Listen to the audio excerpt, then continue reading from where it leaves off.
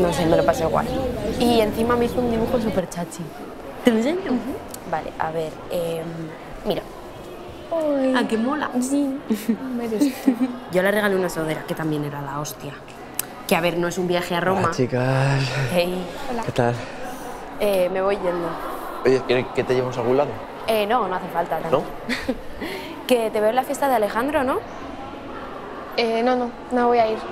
Tía, ¿qué dices? Pero vente, si ya sois amiguis, ¿no? Que además, tía, hay que cotillear sobre la casa. Habrá bodega, habrá piscina. Las dos, quizá, quién sabe. Venga, vente, que se valía. No, es que no puedo. Eres una feca. Pero bueno, ya os contaré qué tal. Bye. Chao. Venga. ¿Llevas a ir a la fiesta de tu ex? No me esperaba esto de ti. Después de lo de anoche. Esto, de verdad.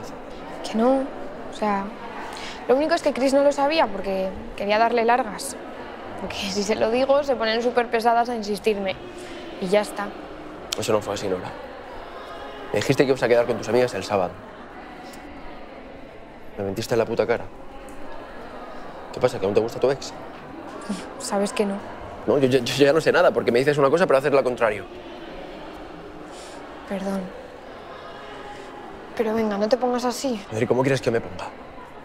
Pensaba que entre nosotros no había secretos. Joder, ¿por qué coño no me lo contaste, tía? Pues no quería que te rayaras. No quería que pasara precisamente esto. Quería evitar discutir porque es que no tenemos ningún motivo. No sé, al final lo habrás hecho por mí. Vaya mierda de excusa, tía. No es una excusa. Mira, déjalo, ¿vale? Que ya he pasado por todo esto. No me gusta ni que me mientan ni que me mareen. Lo sabes y aún así lo haces.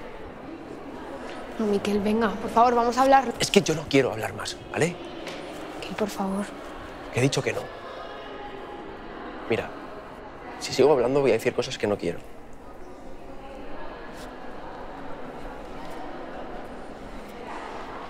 Por cierto, tu hermana te ha montado una fiesta sorpresa por tu cumple.